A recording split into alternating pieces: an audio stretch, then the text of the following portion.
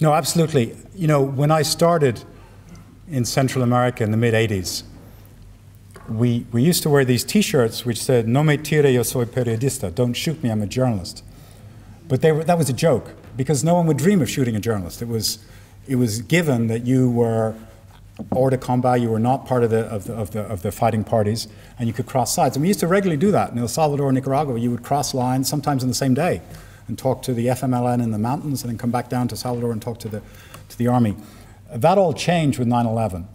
Um, and it's made the, the, the job of working out why conflicts uh, fester much harder.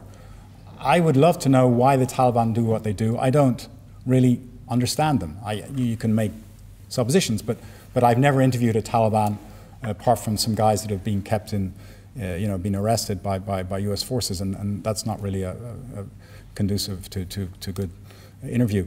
Uh, the same with Al Qaeda, um, and the same in spades with, with ISIS. Um, I just had dinner last night with a, colleague from, former colleague from CBS News, and she was saying how um, they had a very brave female correspondent who wrapped herself up and she speaks Arabic and had gone in towards Raqqa to try and uh, interview some folks, but you know she didn't get very far and she had to withdraw. Um, we've seen what happened to Jim Foley and, and Steve Sotloff, who were so brutally beheaded. Uh, it, it not only makes it more dangerous, but the, the major news organizations now pretty much won't send people uh, into these areas, particularly Syria. Um, one, because they don't want to endanger their folks. Two, because the insurance companies won't let them. Uh, and so that, that vacuum is being filled by freelancers who don't have the same uh, support, the security details, uh, the health insurance, the Medivac uh, facilities that you know staff correspondents have.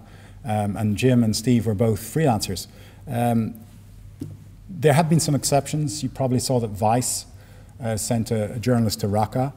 Um, I thought that was great.